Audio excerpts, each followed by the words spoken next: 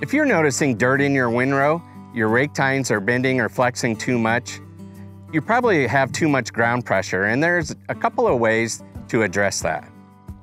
We recommend a hitch height setting of between 10 and 12 inches. This rake is currently around 15 inches from the ground to the bottom of the hitch.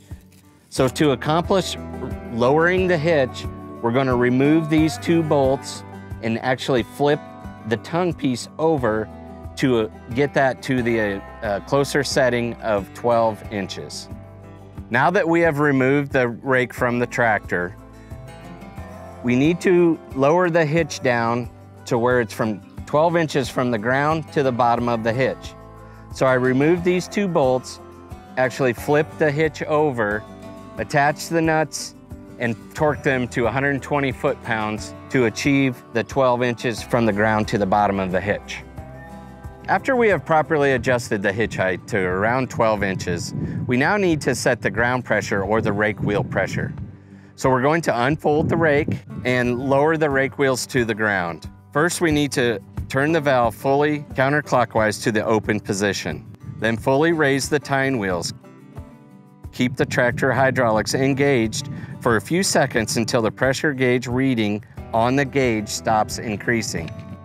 Next, return the tractor hydraulic control to neutral. Pressure reading on the gauge should hold steady at maximum tractor pressure. Turn valve handle fully clockwise to the closed position. Move the tractor hydraulic control for the tine wheel circuit to the float position. Slowly turn valve handle counterclockwise until the pressure indication on the gauge begins to decrease. Tine wheels will lower as gauge pressure decreases. When setting the down pressure on the rake wheels, it's best to start at around 900 PSI. The larger the number, the lighter the rake wheels, the lower the number, the heavier the rake wheels. Lower the gauge down to approximately 900 PSI. Turn the valve back all the way clockwise, and this will hold the pressure. Now that you've checked it, make a pass through the field. Check your ground pressure, and repeat previous steps if needed. Refer to section 20 of your operator's manual for machine-specific information.